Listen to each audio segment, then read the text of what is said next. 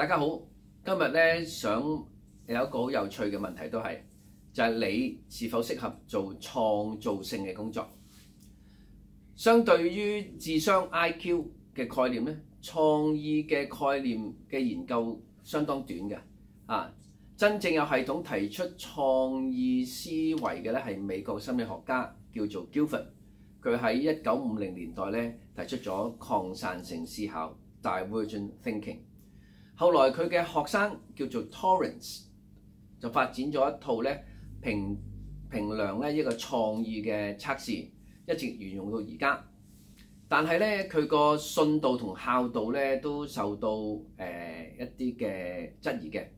啊，只係限於測試兒童，咁成人又點呢？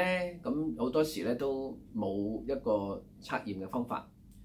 香港咧正係推動咧呢個創意嘅工業，界定咗十三類嘅行業咧，好似誒廣告啊、電影啊、設計咁樣，咁可以咧係誒重點發展嘅。咁究竟邊啲人啱做呢啲行業呢？台灣嘅創意學者洪永超咧就提出咗創造性工作嘅量表喎，佢認為咧創意嘅人咧應該有六種嘅心理質素，咁邊六種咧？聽住咯，就係樂觀、進取、開放、自信、務實同埋時間嘅運用。樂觀嘅人咧，凡事都向好嘅方面諗，唔容易灰心。咁當然咧，有創意嘅機會咧就會高啲啦。第二就係進取嘅性格啊，能夠咧突破自己嘅限制，唔好固步自封。會盡力而為。第三咧就係、是、開放嘅心靈，容許意見，容許誒、其他嘅誒唔同嘅聲音，唔會睇小別人，亦都咧唔會妒忌其他人。呢啲人咧就容易同人合作。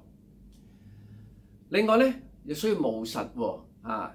邊個咧都會有創意嘅，但係肯付諸努力嘅人咧，其實咧相對咧非常之少。咁所以咧，如果你有 idea，又係有 action 嘅話咧，咁你成功嘅機會咧，當然咧就係高好多。咁最後咧就係時間管理，因為始終咧創意咧發明咧都需要咧投入大量嘅時間嘅。咁我哋點樣去管理自己嘅時間啊？令到咧有效率地去誒誒做實驗啦，或者咧係誒誒作出判斷咧，都係重要嘅。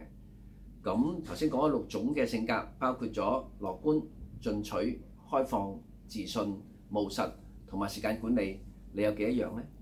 今日我講嘅話題係你是否合適做創意工作？